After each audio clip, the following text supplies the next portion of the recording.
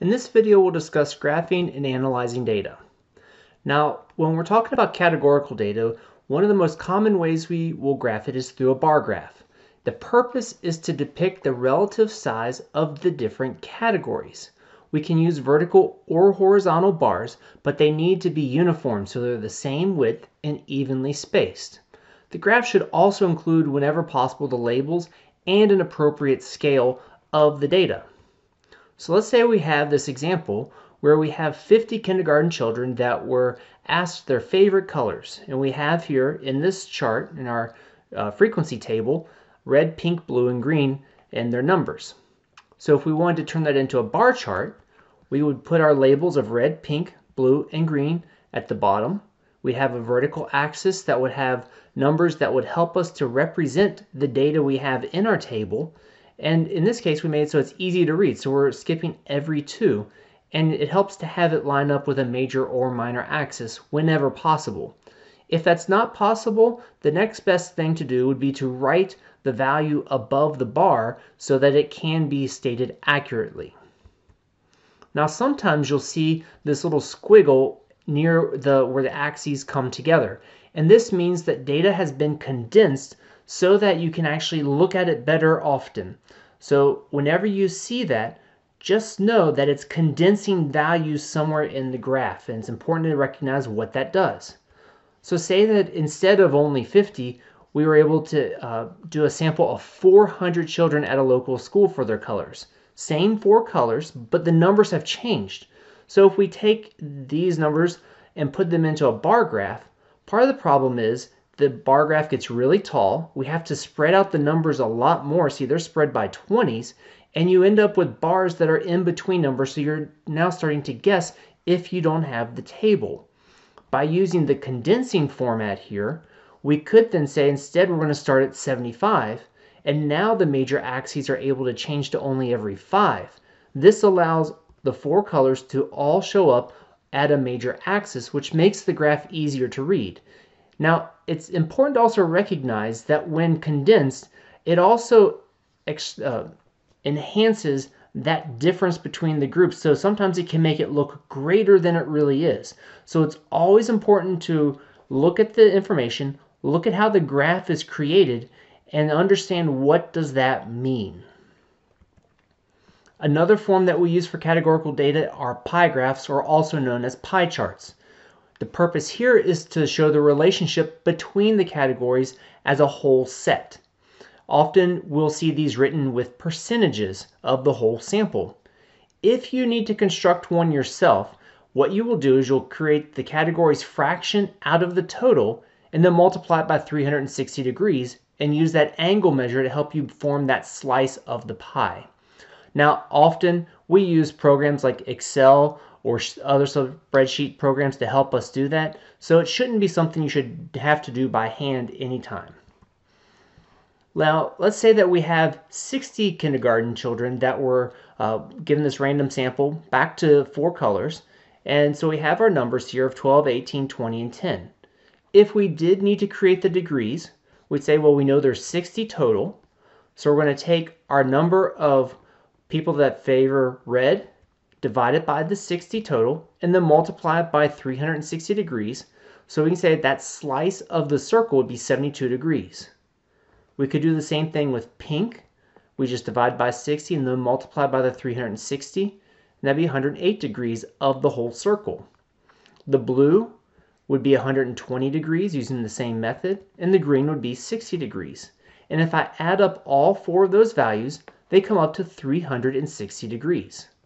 So when I graph it then, I can see each of my pieces of the pie, and you can see how it's been labeled as well. We have a title here, Favorite Colors of Kindergartners.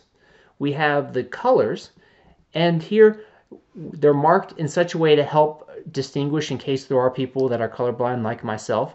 So there's something more than just the color to help distinguish the different parts of the pie chart with the percents inside of them. So that can be very helpful. The key here, though, is that sometimes you're provided only a graph with percents, and you may have to use that to go back to uh, how many are in each category. So it's different information provided in different formats. Now, one of the most common ways we'll talk about numerical data is through line graphs. These are often going to be created using paired data that's connected by a line that shows how one point changes from other the other the previous point over a sequence. Most commonly that sequence is over time. We cannot use this for categorical data. That is important. Most often we're using it to see how something changes over time or maybe how it changes over the number of times something is attempted. For example, the U.S. national debt. Say we have a table that has the data from uh, since 1970 to 2010 every five years, and this is in billions of dollars. And we'll see, well, what is the data doing?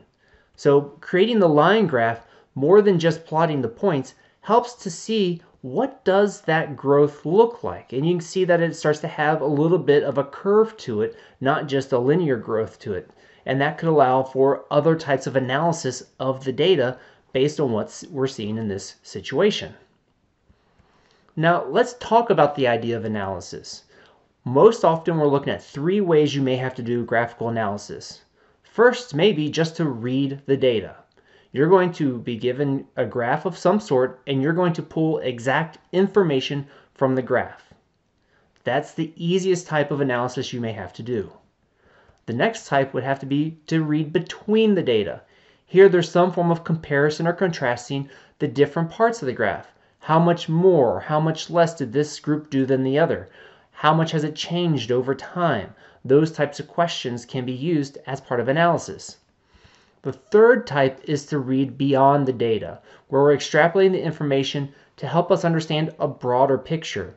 Maybe we're trying to make a prediction of the future based on what we see happening in the graph. Or maybe we're trying to understand the larger population based on the little bit of information we have.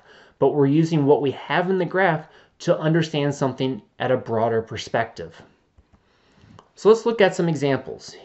Here we have a pie chart that shows the monthly expenses of a family. So here would be one question that could be asked that goes with the reading the data. What category represents about one-fourth of the family's total expenses?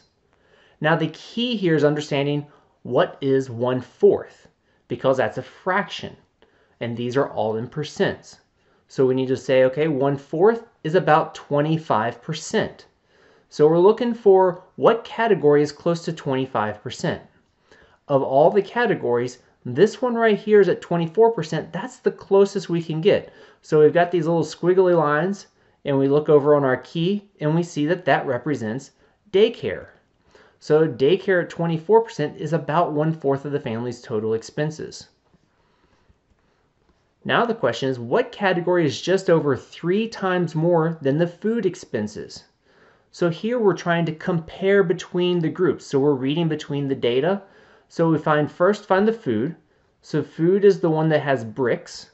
And so that's this 14%. So we're saying three times more than 14% is about 42%. And this says just over three times. So we're saying what's just over 42%? Well, the only one that's even close is this 44%. And using our key, we see that that is rent. So rent is about three times more than the amount they're spending on food. So let's look at a question look beyond. If we know that the car expenses were $150 each month, then what is the total amount of expenses that the family is spending each month? So we're using this car expense here, which is the vertical lines, the 6%, to understand what does that mean about the larger expenses this family has. So how could we do that? Well, if we relate the percent of the cars to the 100% of the entire expenses, we could say that that is the car expense to the total expenses they have. So we look and say, well, what do we have? Do we have the car expense or the car percent? Yeah, it's 6%. Do we have the amount we're spending on cars each month? Yes, it's $150. So we have three of the four pieces of information. We can then solve for the total expenses. So 6% out of 100% equals 150 out of x. We can cross multiply here, and this will give us 6x equals $15,000. So if we divide both sides by 6, we'd say that their monthly budget is $2,500. And so using that, we could calculate every other category to see how much is being spent per category each month. Now let's look at a bar graph example. So here we have a bar graph of a store that's made sales in a month at four different locations. And we want to know how much did they sell in Mapleton for the month. So Mapleton comes to this gray line right here. I can follow that over and say, well, that is a minor tick mark, but it's in between 140 and 160. So that's exactly 150. But the thing is, that's not $150 that they made in sales because the sales are in thousands of dollars. So I need to take this amount and multiply it by 1,000. So really, Mapleton sold $150,000 in sales in a month. Now say maybe we want a between question. How much more did the store make in sales at Chester compared to Greytown? Well, we can start by looking at Chester and say it sold 200. And Greytown sold 80. And remember, these are in thousands of dollars. So 200 minus 80 is 120, which means since that's in thousands of dollars, the store made 120,000 more dollars in sales at Chester than in Greytown. Now let's look at a beyond question. Say that Based on these monthly sales, how much should the store earn in sales for a year at Branson? So this is just one month, but we want to know an entire year. So you have to think about, okay, what would that mean in this case? So one month is 120 and a year is really 12 months. So I can look at the sales of one month compared to the sales of 12 months and just assume it's going to be about the same. So let's plug in what we know. We do know the sales for one month is 120 in thousands of dollars. So I'm solving for the sales for the 12 months. Here I'm going to multiply both sides by 12 months. So I know that my months will cancel here, leave me just with my amount.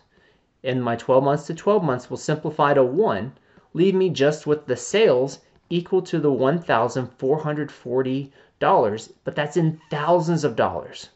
So to get the total sales for the year, I need to take this amount and multiply by a thousand. Again, this is in thousands of dollars. So really the store will earn $1,440,000 in sales over the year in Branson.